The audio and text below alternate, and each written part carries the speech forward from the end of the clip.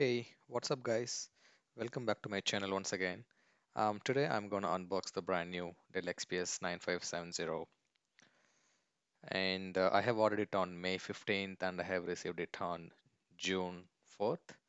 Um, the box looks pretty similar to the previous version Dell XPS 9560 and uh, I have ordered a top end uh, laptop which is i9 8950HK processor, 12 MB cache, up to 4.8 GHz and 6 cores.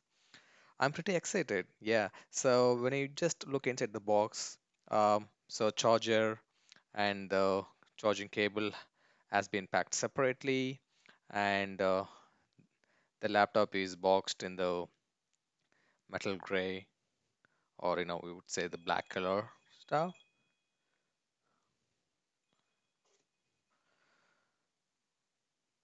Let's get get rid of the you know the sponges and things like that.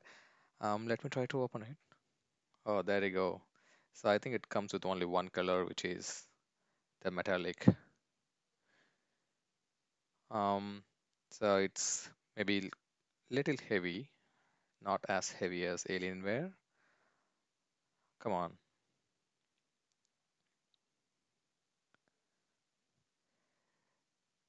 So you could see uh, manual and the other safety instructions comes along with the laptop, and the laptop has been kind of you know uh, molded with the plastic paper, and I don't find anything new in the manual shade. It's all the same stuff what we used to see.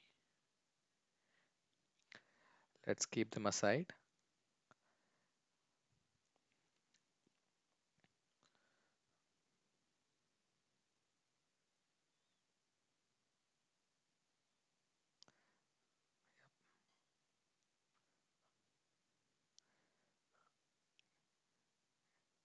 It's not that tough, yeah.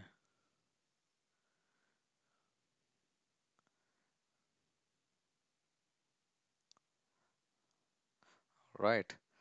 So I have seen or I have read some articles saying that it comes with a notch here so that it will be easy for us to open the lid, but I do not find the notch anything. Um, it's still, you know, a little difficult for me to open it. Yeah, finally I open Here you go. So let me turn it on. Yep.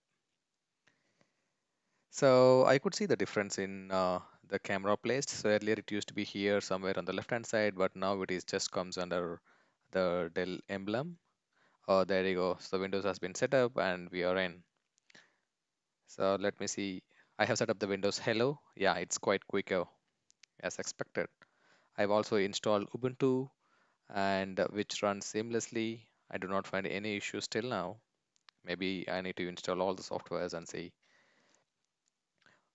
So here you have the SD card reader and the USB port and the battery indicator and the lock